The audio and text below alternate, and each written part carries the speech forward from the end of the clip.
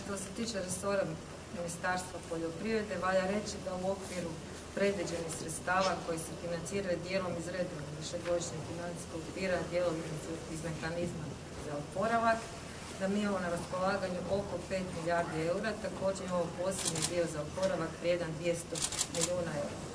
No također Ministarstvo poljoprivrede je kandidiralo određene dodatne reformske aktivnosti koje se odnose na sprječavanje otpada u hrani, sustav doniranja, digitalizaciju poljoprivrede, komasaciju i uspostavu neophodnih skladišno-distribucijskih kapaciteta za osiguranje neometanog lanca opskrbe hrane i za povezivanje se. Dakle, istina je da je na institutu Ruđer Bošković detektirana sekvenciranjem načina jedna od mogućih mutacija koje karakteriziraju, ali ne samo brazilski, nego i južnoafrički i britanski soj virusa. Dakle, to je samo jedna. Ja sam se jutros čuo sa kolegom Vugrekom koji je detektirao tu mutaciju i on je rekao da je sekvenciranje cijelog genoma virusa u postupku i da ćemo otprilike za tjedan dana imati kompletnu informaciju.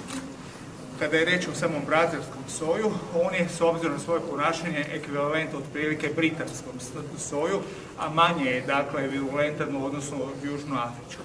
Međutim, kao što sam rekao, ova jedna mutacija na tom spike ili šiljak proteinu se nalazi u svim sojima. Prema tome, u ovom trenutku nije moguće reći da li je to brazilski, da li je južnoafrički, da li je britanski ili će biti možda nekakva hrvatska varijanta mutacija virusa. Dakle, nakon evaluacije kompletnog genoma moći ćemo sagledavati. Jer svaka ova pojedina varijanta virusa ima svoje specifične mutacije. Ovo je samo jedna od njih. Dakle, mutacija na tom spike proteinu na mjestu E484K.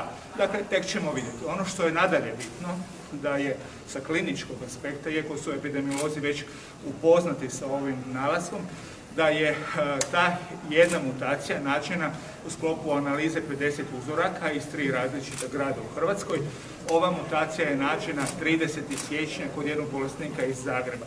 Opet, s obzirom na određeni vremenski odmak, nema kliničkih parametara koji dokazivali na egzaktnije širenje epidemije, prema tome nadam se da neće biti ništa važno, ali svako ovakvoj detekciji mutacije potrebno je potrebno je posvetiti određenu pažnju, ali bez nekakvog senzacionalizma. Dakle, da bi potvrdili da je riječ o južnoafričkom, brazilskom ili nekom drugom soju, morat ćemo pričekati kompletnu ono. Poznata je koji je regularni put za priznavanje nekog cijepiva. To je za Republiku Hrvatsku, s obzirom da smo članica Europske unije, to je e, put odobrenja putem centraliziranog takozvanog načina, putem EME. Međutim, pojedine druge države su tražili drugi način, a to je da njihove regulatorne agencije, poput našeg Halmeta, putem interventnog uvoza, analizirajući također osnovna elementa, to su sigurnost i učinkovitost cjepiva, izdaju privremena odobrenja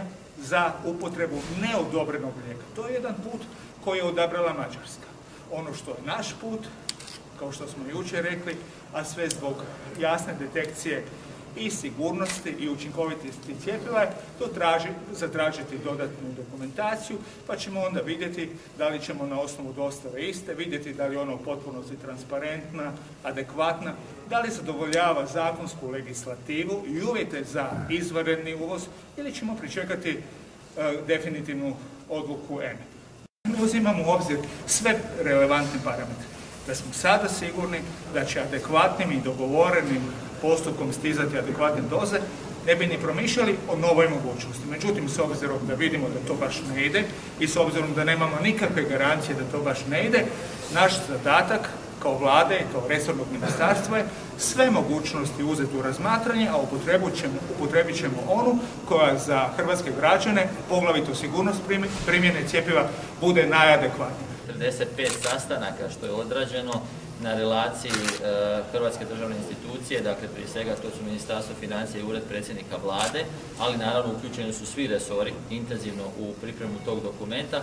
Očekujemo tu dinamiku da se nastavi čak i intenzivira, kao za sve zemlje, tako i Hrvatska obveza je poslati finalnu verziju dokumenta do kraja četvrtog mjeseca, nakon čega ide proces e, evaluacije dokumenta od strane Europske komisije, ali obzirom na ovu vrlo intenzivnu komunikaciju, ne samo Hrvatske, nego svih zemalja članica, za očekivati da će taj proces zaista tako brzo i ići. Naravno i vijeće treba nešto reći na tom tragu i onda sukladno tome će biti uh, odobreni uh, programi, sve ono što će unutra pisati i strukturnih reformi koje su vezane za otpornost europskih gospodarstava, odnosno pojedinih zemalja članica.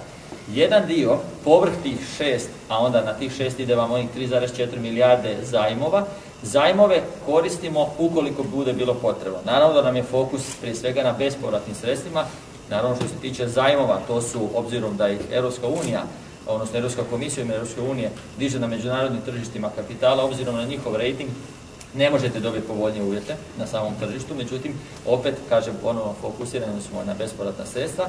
Jedan dio povrh fonda za oporavak i otpornost, to je onaj takozvani REACT EU od nekih 700 milijuna eura.